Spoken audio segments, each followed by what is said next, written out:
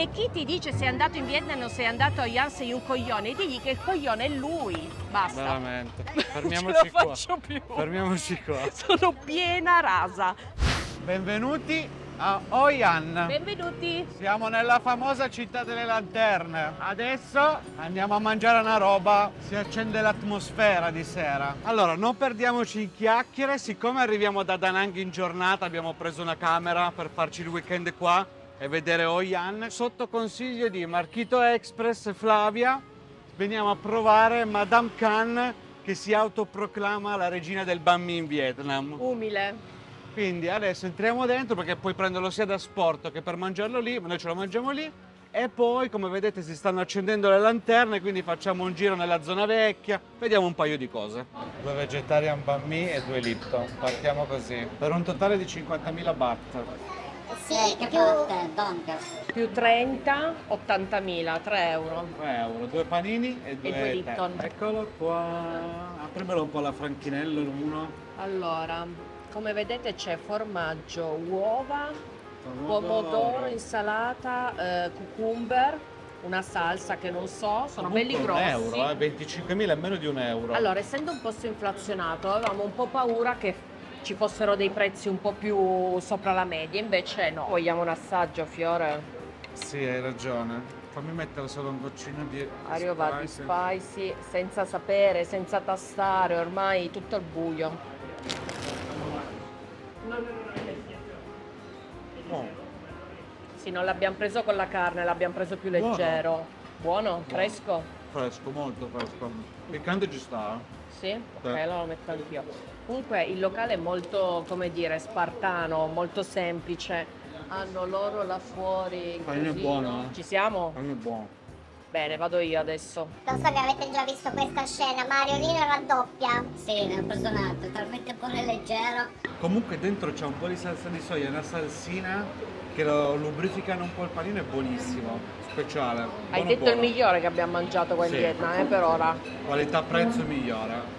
Grazie del consiglio Marco e Flavia. Da che parte? Comunque ho letto che una delle cose da fare qua è farsi fare un vestito. Ora. Devi sapere che prima di diventare uno dei posti più instagrammati del Vietnam praticamente, Hoi An nasce come un punto commerciale, un crocevia commerciale molto molto importante. Quindi tessuti, merci, una volta da qua passavano e poi venivano dislocati in tutto il Vietnam. Poi è diventata una boutique a cielo aperto. Su misura, se vuoi qualcosa ti scegli il tessuto. Eh già. Non abbiamo spazio in valigia, amore. Ma no, tanto non fa per me. Questi abiti non fanno per me. Una particolarità qua a Hoi An, come vedete alle mie spalle, quando si entra nel centro storico, oltre a pagare, non si può girare col motorino. Infatti, vedete che è pieno. Mi piacerebbe capire cosa vuole pescare il signore alle mie spalle in queste acque. Meglio non saperlo. Un bel suscettino. che ne dici? Comunque sì, vedete, è pieno di scooter. Eh, quindi li dovete lasciare tutti fuori, naturalmente più si lasciano vicino al centro storico e dovrete pagare ovviamente, mentre se li lasci 200 metri più in là i motorini nessuno vi chiede niente, quindi sta anche alla vostra furbizia. Ok, possiamo andare, che dici? Possiamo andare, comunque vedi già, lì c'è un primo scorcio, Sì, di quest'ora è molto lanterne, carino luci. comunque. Va bene, addentriamoci, addentriamoci. Voilà, non si va, non si va, grab. Vedete, ri- ripreso in tempo reale, non si va. Allora facciamo un piccolo giro qua del centro. Le immagini saranno quel che sono perché comunque di sera il telefono fa un po' più di difficoltà. Però facciamo un giro, fa molto caldo stasera, quindi... Chiario si è appena spaccato due bammie per quello, c'è anche l'arietta. Eh, ma io ho caldo in questo Vabbè, momento. comunque si fa caldo. Dovete sapere che il centro storico, essendo chiuso al traffico, è molto più vivibile, nonostante sia molto turistico. Ci sono tanti templi, delle sale molto particolari. Noi ne vedremo alcune, non abbiamo organizzato una visita molto strutturata perché comunque abbiamo previsto di passeggiare per il centro e goderci la particolarità di questo posto, che sono le lanterne, questa atmosfera. Cerchiamo di condividerla con voi, partiamo da questo tempio buddista e poi esploriamo un pochino il centro vicino al lungo fiume. Venite con noi. Facciamo un video easy. Tra l'altro siamo venuti già qua a Oyan e l'altra sera siamo venuti a farci una cena per fare una prima perlustrazione e iniziare a scoprire un po' il posto, però adesso abbiamo questi due giorni, mettiamola così, per girarci la città. Niente, Are dall'altra sera che non si capacita di questi stivali da cowboy. Infatti li devo riprendere. Sto rivivendo quello che vivi a Minh col motorino, cioè ho troppa gente addosso e già Eh, sto sclerando. Il centro è piccolo, eh, c'è tanta gente. E non siamo ancora all'orario di punta, cioè... È un posto molto fotogenico comunque, si può dire. Sì. Allora, sono sempre belle quelle immagini qui di Instagram dove sembra tutto perfetto. Sì. Questo è il dietro le quinte. Questa è la Real Oyan. Come dicevo prima, noi siamo venuti l'altra sera. C'era gente, ma non essendo il weekend potevi ancora passarci. Cioè, guardate quanta Ma gente perché questo è il ponte giapponese, uno dei posti più fotografati, ma ti pare? Ma la gente non Ma sta bene pare? comunque, guarda che roba. Ma la gente non sta bene davvero.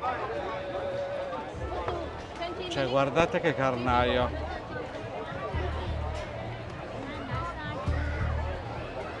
Quindi va bene tutto. Non vi vogliamo deludere, come sempre noi vogliamo raccontarvi le cose che vediamo.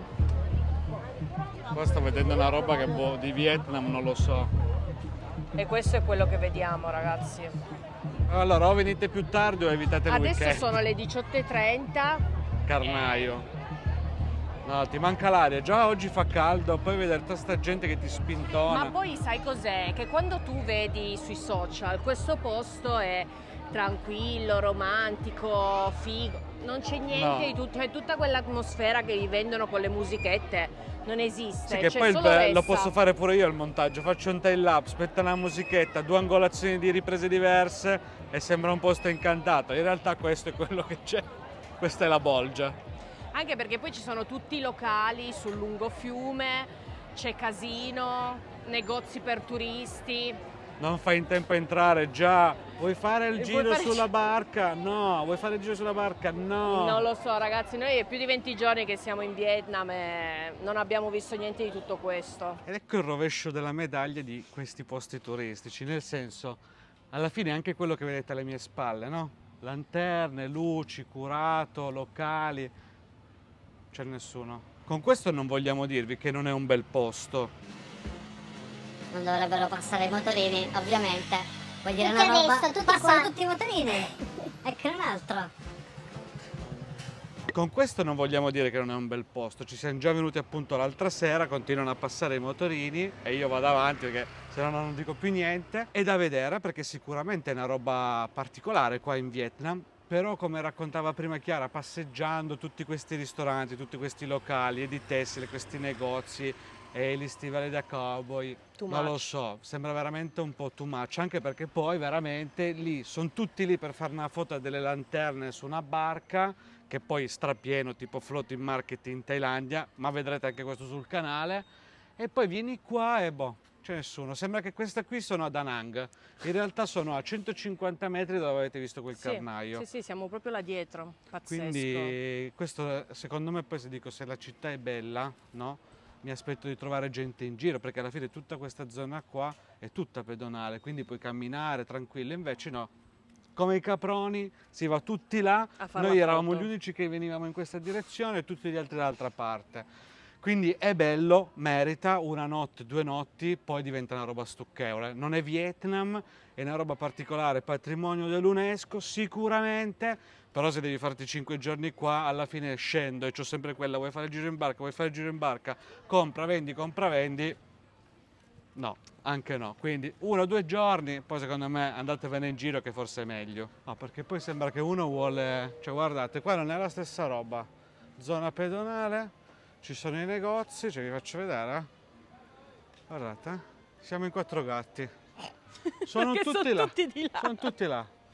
Tutti là che ti... Io non mi sono osato avvicinare per fare... Volevo fare due riprese alle barche. No, non si può, in questo No, momento perché si poi può. mi spintonano, ancora mi cade la roba in acqua, No, no. anche no, sinceramente per sti pazzi che Il devono fare due foto. quest- esatto, di questi posti è che la gente viene per farsi la foto, perché poi in tutto il Vietnam è il posto in cui ci sono delle cose belle da vedere, perché ci sono dei templi, tutto, ma la gente viene qua per farsi le foto sul canale. Questo per dirvi, non- noi non vogliamo demonizzare questi No. posti, perché anche noi visitiamo i posti turistici e ci piacciono, però visitateli con consapevolezza, sapendo che questa è una bolla turistica a tutti gli effetti, con i suoi pro e i suoi contro. Esatto, tutto lì. Noi ci stiamo soffermando sulla parte centrale, quella più battuta, il ponte giapponese, però se venite di giorno si può anche andare in giro qua fuori. Sì, perché è circondata da tutta una zona rurale, Oyan, ci sono le risaie, ci sono i bufali, ci sono anche i contadini che ti fanno fare la foto con i bufali se vuoi pagare, cioè, capito? Si Diventa- può fare il giro in bicicletta. Fare, cioè diventa un po' tutto al servizio di quello che è, però i dintorni sono molto belli, molto verdi, quindi se uno in giornata vuole farsi una- un giro in bici, il noleggio delle bici qua è carino, si può fare. per rendere l'idea di quello che abbiamo appena detto in questo video, che comunque il posto è bello, eh? però a noi non ci gusta. Io voglio farvi questo esempio qua. Io l'altra sera che sono venuto, abbiamo fatto la cena di sushi, abbiamo fatto un giro qua nel centro, come vedete. Mi è piaciuto perché comunque la prima volta che lo vedi è una Sì. roba che da 20 giorni siamo in. Vietnam, non si è abituato a vederla. Stasera, che sono qui già per la seconda sera e dovrei fare anche nervoso. domani, me la voglio già andare. Perché è un carnaio, è pieno di gente, quelli che ti spingono per fare le foto, Ma perché? gente che mi martella per farmi un cacchio di giro su ste cacchio di barche. Guarda, sono 200 barche, non voglio che passi solo il concetto, però effettivamente No, ragazzi, però è brutto come così. dei posti così belli e così importanti, perché poi si vede che la parte della città vecchia ha una sua storia, ha una sua importanza. È brutto che si riducano a quello. È Sì. veramente un po', un po' brutto, un po' triste e si vede che è tutto studiato per persone che stanno qua al massimo un giorno e poi se ne vanno. Questa è la grande differenza, ad esempio, con le città come Da Nang, Sì. che invece ti invogliano, anche se sono meno, che poi anche lì è da vedere, però meno di impatto. Io non sono d'accordo, però può essere così. Così viene venduta. Può essere così, però ti- non ti fanno sentire un bancomat che cammina. Ripetiamo, se venite in Vietnam e avete visto 180 foto come abbiamo visto noi di Hoi An, veniteci, perché nessuno vi dice saltate Sì, a pie esatto. pari un posto di merda, però veniteci con la consapevolezza che vi troverete questa roba qui e ad alcuni può anche piacere. Esatto, perché, poi- questo è il nostro oh, punto di vista, ma noi non esatto. siamo tutte le Uno- persone. a uno può anche piacere, però non aspettatevi le strade deserte, Esatto. le lanterne, la Solo gente... voi che fate il giro in barca. C'è i vietnamiti che vi sorridono? Assolutamente no. ragazzi. Cioè, quelli che vi sorridono è perché vi stanno sfilando i soldi dall'altra parte. Perché, ed è giusto che sia così, l'abbiamo anche visto in Thailandia, l'abbiamo visto in tanti posti. Purtroppo questi posti sono così. Che belle, eh, quelle barche lì. Peccato che non mostrano la fogna che c'è qua, L'odore di... l'odore che non potete sentire purtroppo nel video, ma tanto vieni a mangiarti una roba qua tranquillo. Cioè, capito, per noi sarebbe stato molto più facile metterci lì nel ponte, andare nel ponte quando non c'era Due nessuno, tipo alle due di lapse, la notte. musichetta. Ti fai la foto figa, Che però... bella Oyan come dicono tutti. Lo sapete, noi non siamo fatti così, quindi vi dobbiamo dire quello che pensiamo e questo è quello che pensiamo. Bella ma sfruttata, mi dispiace, ma è così. No vabbè, cioè, la, la gente non sta bene comunque. Questo tra un po' va in acqua per fare le foto. Nella fogna più totale. Cioè. Ma poi non si guardano neanche intorno, solo lì per farti la Sì. foto che sei dietro la lanterna, cioè... Volete farvi un giro da soli sulla barca? Non potete. cioè comunque sono tutti su quel ponte, amore. Mamma mia ragazzi. I migliori sono quelli che si tolgono il giubbotto per fare un momento la foto e poi se lo devono rimettere.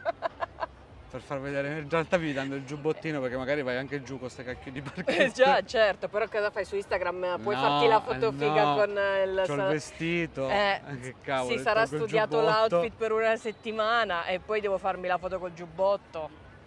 C'è il momento che dove metti la lanterna lì. Esatto, in acqua, vai. Che magia. Eccolo, eccolo. Che magia, ragazzi, che magia. Vedo già le visualizzazioni. Vedo già che diventa virale. Male male. Lo vedi, guarda che facce sognanti. Sì, sì. Ma perché? Questo è un altro discorso. Tu se vieni in Vietnam devi venire a Hoi An, devi farti in giro in barca e devi divertirti. Cioè, Vero. poi magari a te non te ne frega assolutamente niente, ti fa schifo, senti puzza di fogna, però È nel to do, Lo è una roba fare. da fare. questo è un altro grande problema e ne abbiamo parlato anche con persone con cui abbiamo fatto le consulenze che quando organizzano i loro viaggi, ma è cap- Come non detto, anche il telefono si rifiuta mentre stavamo esprimendo un concetto e è finito lo spazio. Non va ne bene può così. più. Basta, andiamo via, andiamo via. Sembra che sia un copione che tu devi per forza fare. Non c'è uno sguardo sognante, non c'è una faccia divertita, non c'è nulla di poetico. Perché il problema di questi posti, ma del turismo in generale, e l'abbiamo anche visto con delle persone con cui abbiamo fatto le consulenze, è che la gente si sente. Cioè, guarda questa che si sta facendo la foto finta di fianco a me. No, io vabbè, senza parole. Ma Cioè, è che la gente, se fa un viaggio, si sente in dovere di andare in determinati posti, ma alla fine a te, che stai guardando, ti interessa veramente? Cioè, tu non devi scegliere di andare in un posto perché hai visto che ti devi fare la foto lì, lì, lì. Ti piace andare in barca, ti piace vedere i Esatto. templi buddisti, ti piace vedere le cittadine storiche. Se non ti piace, non lo fare. E chi ti dice sei andato in Vietnam o sei andato a Yan sei un coglione, digli che il coglione è lui. Basta. Veramente. Fermiamoci qua. faccio più. Fermiamoci qua. Sono piena rasa, ne ho fin qua. E adesso diciamo queste, ma non perché ce l'abbiamo col Vietnam e questo Ma posto in par- figurati. perché questa la puoi fare in Italia ed è una cafonata uguale. Quindi in realtà è proprio il concetto, come diceva Chiara, di escursione che ormai ha rotto i coglioni. Sì.